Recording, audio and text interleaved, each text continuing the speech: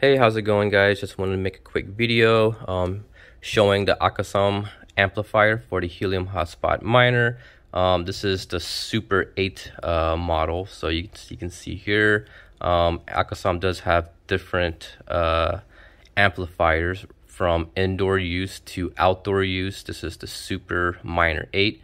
Supposedly it's outdoor rated and it's supposed to be sealed so you can use outdoor without having to put it inside an enclosure or um, other methods to prevent water from damaging it. But Super 8 outdoor version. Um, also, I got the RX 17 and the TX 10 model. So it's uh, pretty much bumping out a lot of, or is amplifying the signal a lot because um, my original plan was to run this setup on top of a 50 foot pole, cavity filter, amplifier, and antenna on top of the 50 foot pole. And then I was planning to run a 50 foot LMR 400 cable from this guy on top of that pole down to my enclosure um, where my hotspot and the bias T. But now after receiving this, my original plan is going to change because first of all, this thing is heavy. Uh, the amplifier, this thing weighs a, probably at least uh, a little bit less than half a pound. It's it's heavy. It's you know pretty big. And my hand, I normally wear a size medium to a large glove, and this is how this uh, amplifier looks in my hand. Like, yeah, it's it's it's a big setup, guys. And next up, this is the cavity filter, the 915 uh, version. And off the bat, it looks a little bit different than what I've seen on Acasom's uh, product pictures and also what I've seen other pitch, other people who bought it um, post up. But this is the outdoor sealed version, but it looks different because you can see the screw uh, pattern here on the case of this uh, cavity filter is not on the sides like in the pictures. It's just here. It's got six, and instead of being at the corners and then having four and then the two more corners here, it's only got one. So I'm not really sure what, what that's about. But um, this is what I received. It's got the in and out engraved in there. Antenna goes to the in. Out will go towards the hotspot side. And both sides are uh, type N connectors and they're female. You see there. Or male. I always get these confused, but I believe it's going to be a female in there. Um, and also same thing for the amplifier, type N on both ends. And then, yeah, moving on next, we got the bias T. It's a uh, DC 12 volt bias T. Um, this is the RF side, antenna side, and this side is going to be to the miner. And then on here, the connectors on here, these are just uh, SMA connectors.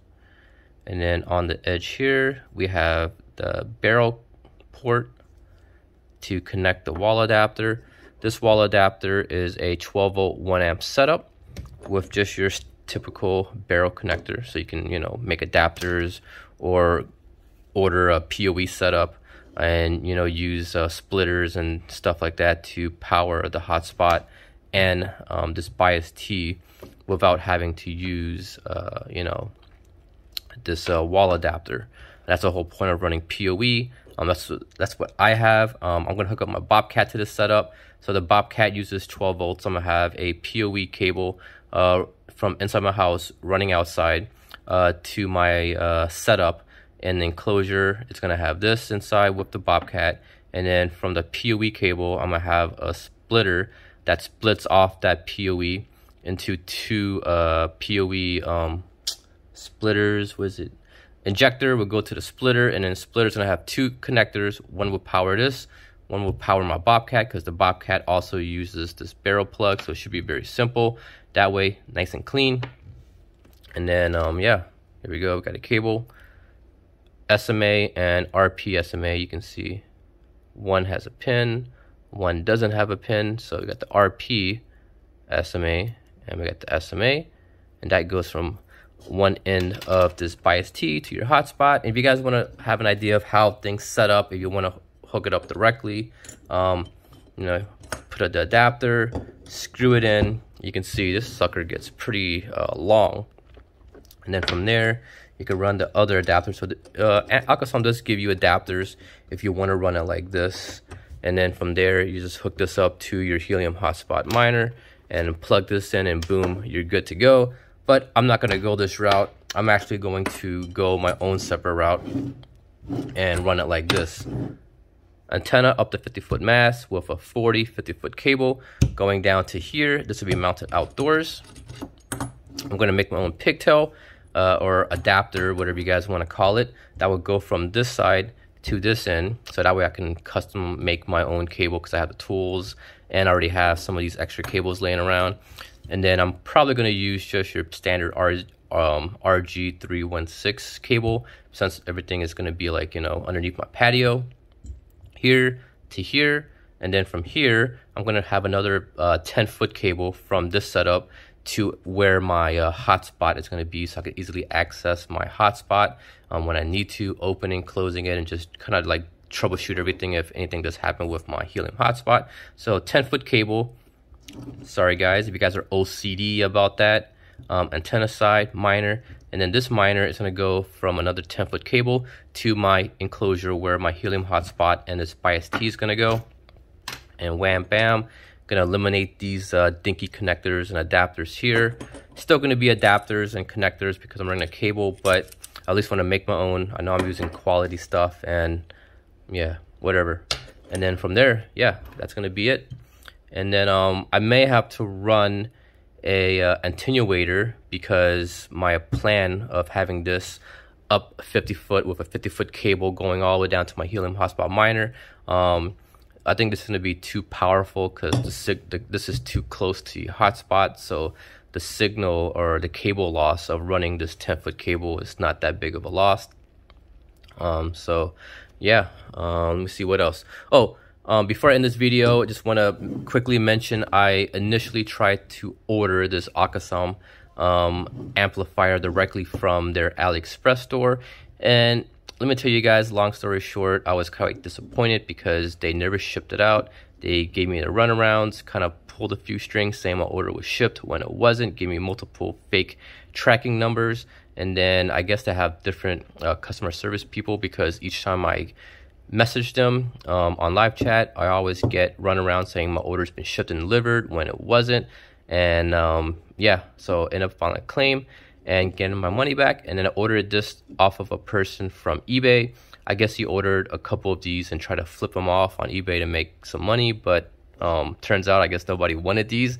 So I got this set up for cheaper than what I would have ordered um, directly from Acasom off the AliExpress store, not to mention any uh, surprise duty fees or charges and um, that long, you know, wait for the shipping.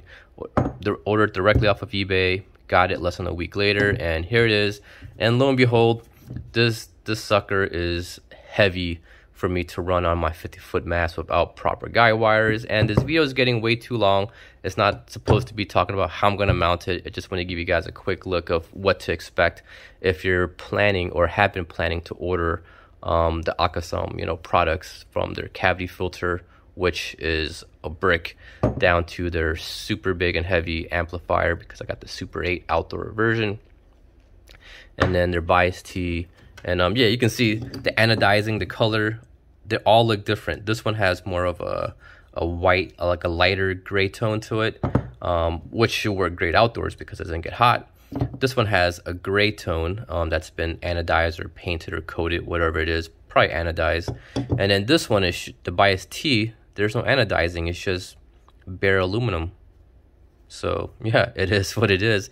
Find it kind of quite strange that all the colors different from all their products, which is supposed to be working together, but who cares um, about the colors and stuff like that. The video is getting way too long. Hope you guys enjoyed it, and I'll be sure to post up some follow-up videos after I get everything hooked up and let you guys know if I see any improvements or if not, or if this thing's a total junk or not. I'm not really sure. I, I am hoping that I, I do get a slight improvement over it. And not to mention I'm running a 50 foot setup now because I have a pneumatic mast and I'm planning on putting that sucker way up high to get better, um, you know, uh, to get better signal with the antenna higher and then make up for that signal lost on the longer cable by running an amplifier. So there you go. Hope you guys enjoyed it. Thanks for watching and I'll see you guys in the next video. See ya.